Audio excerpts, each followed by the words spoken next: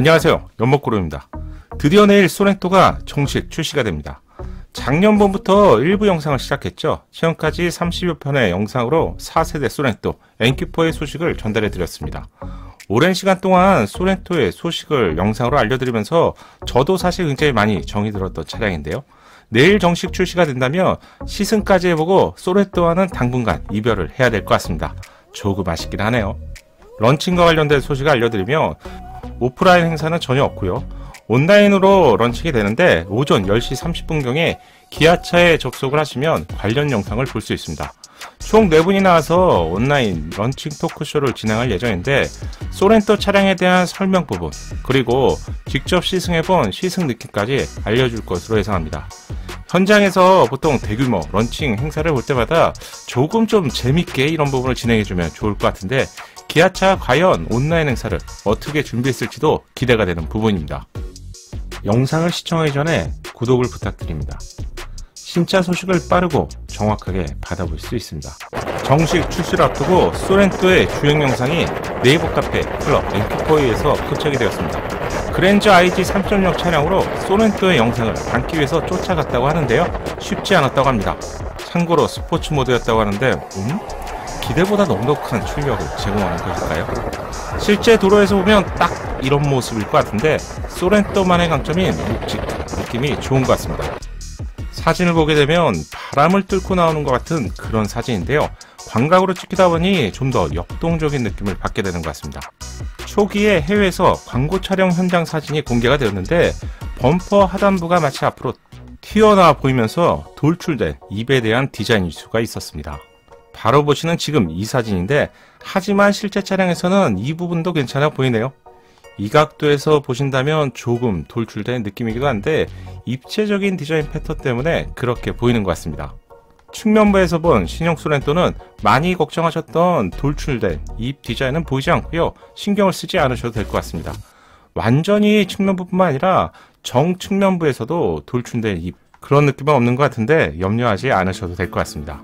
측면부에는 세 가지 포인트 디자인을 발견할 수 있습니다. 일종의 garnish 디자인이죠.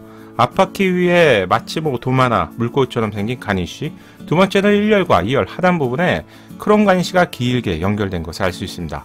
세 번째는 C필러에는 상어를 연상시키는 유사한 느낌의 garnish가 포인트로 삽입이 되어 있습니다. 이렇게 세 군데에 포인트 디자인이 삽입이 되면서 SUV가 좀 심심한 면이 있는데요. 특히 측면부의 디자인이죠. 이러한 측면부의 디자인을 지루하지 않게 보이는 역할도 하고 있습니다. 현재 소렌토가 평범한 아저씨처럼 좀 둥글둥글한 느낌이라면요. 신형 소렌토는 헬스장에서 몸을 잘 다부진 몸매를 만든 그런 좀 젊어진 청년과 같은 느낌을 받을 수 있습니다.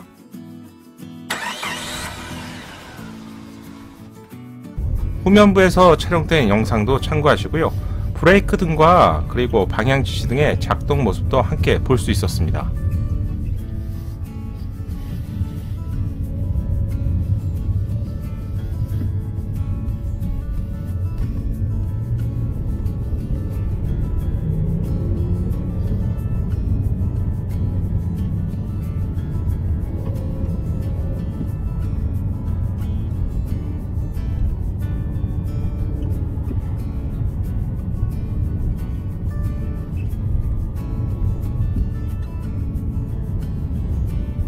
다시 사진을 보시게 되면 차선 변경을 위해서 방향 지시 등이 작동되고 있는 사진입니다.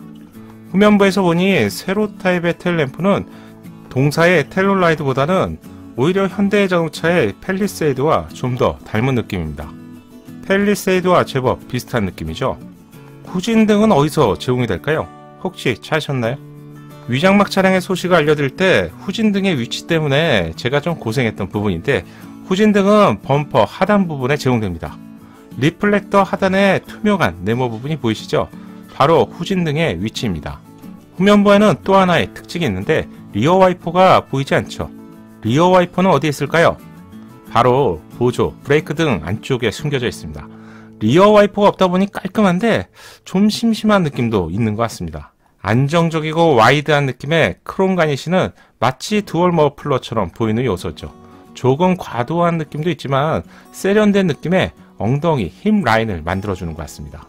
저는 개인적으로 아직 실제 차량을 보지 못했는데 전고가 낮아지면서 이렇게 보니 좀 작은 느낌도 있는 것 같습니다. 개인적으로 모하비처럼 좀 웅장한 느낌을 좋아하는데 직접 보더라도 이렇게 웅장한 느낌은 없을 것 같은데 중형 SUV가 사실 대형 SUV가 될 수 있는 것은 아니겠죠. 안정적인 느낌의 그레이톤 실내는 보기만 해도 편안함이 느껴지는 것 같습니다. 도어 트림을 포함해서 잘 만든 것 같은데 2열의 승차감은 어떨지 이 부분도 궁금해지네요. 실제 시승해 본 분들의 말을 들어보니까요. 실내 공간은 이전 세대보다 분명히 넓어졌다고 합니다. 신형 소렌토의 전장은 전체 길이에서 10mm가 늘어났죠. 이 부분 1cm 뿐이 안 되는데 실내 공간은 수치 자료로 제가 확인해 보니 61mm가 늘어났습니다. 한 6.1cm죠. 실내 공간을 가늠하는 가장 중요한 기준은 전장 전고, 전폭도 아닌 휠베이스 축건데 이 부분이 35mm가 증가했습니다. 2열은 기존 소렌토 대비 무려 93mm가 넓어졌는데 기존 소렌토보다 늘어난 부분 레그룸 기준으로 14 그리고 93 여기에 3열은 좁아진 것으로 알려졌기 때문에 마이너스 46을 더하게 되면 즉 6cm 정도의 실내 공간이 커졌다고 유추할 수 있는 부분입니다. 이렇게 실내 공간을 말씀드릴 때 꼭 생각나는 부분은 글로벌의 모든 제조사 중에서도 현대차 그룹이 실내 공간만큼은 정말 잘 뽑아내는 것 같습니다. 이 정도 공간이면 수입 대형 SUV와 비교해도 뭐 비슷하거나 오히려 더 큰 수치라고 할 수 있습니다.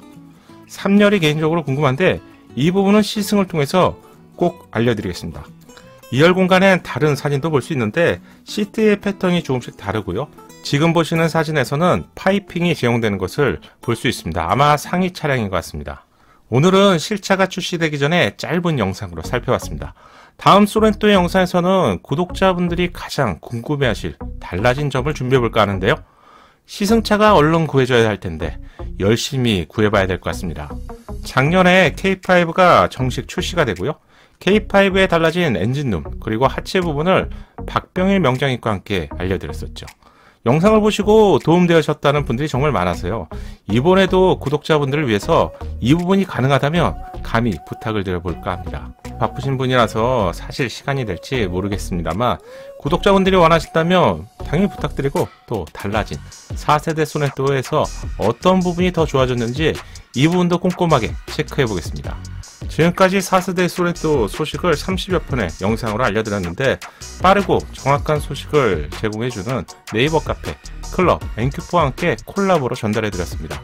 예전에는 혼자서 움직여서 소식을 전달해드렸지만 빠른 정보가 필요한 지금은 콜라보를 통해서 정보를 빠르고 정확하게 제공해드리고 있는데 소렌토와 관련된 좋은 정보가 많이 있으니 함께 참고하시면 좋을 것 같습니다. 내일은 정식 런칭을 통해서 세부적으로 어떤 정보들이 있는지 꼼꼼하게 비교해 보고요. 추가로 확인해 드려야 할 부분이 있다면 다시 발견해서요. 영상으로 추가 소식도 준비해 보겠습니다. 새롭게 출시될 신차 소식이 궁금하시면 연목구름 채널에서 구독과 알림 설정을 해 놓으시고요. 신차 소식을 포함한 다양한 소식을 빠르고 정확하게 알려드리겠습니다. 다음 영상에서는 소렌토 실차 소식에 한 발 더 다가가 보겠습니다. 내일이면 소렌토가 완전히 공개가 되기 때문에 지금까지 공개가 되었던 티저를 영원히 못 보게 되겠죠. 마지막으로 티저 영상을 보면서 이번 영상을 마치겠습니다. 감사합니다.